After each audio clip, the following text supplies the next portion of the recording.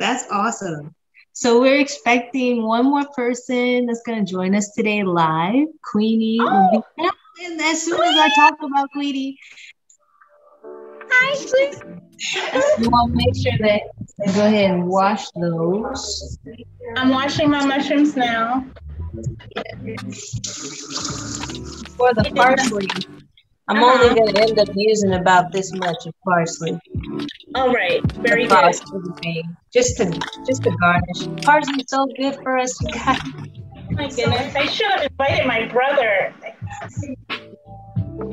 He would love this. With this, any kind of like meat substitute that you want to do, this one is like a um like a like a Latin kind of remix, you know, but you can season it however. So if you wanted like pressing it, kind of like pressing the tomato into it, because if you were to put this into the food processor, then it would, you know, kind of get it more combined. So when you're ready, coming back to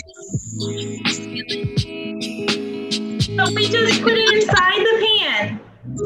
And put it straight in the, inside the pan where I put in the toppings. Oh, nice. Oh, that's so cool. And we got the parsley. I love it. Put some parsley on there. Okay. That looks so good. Angela. I can't, wait, I can't wait to eat it. Oh, that's good. Yeah. She, did you hear my mom's reaction? What she said, "Are we ready to try it?" And then she tried it, and she said, "Oh, that's good." Here we go. Here we go. okay.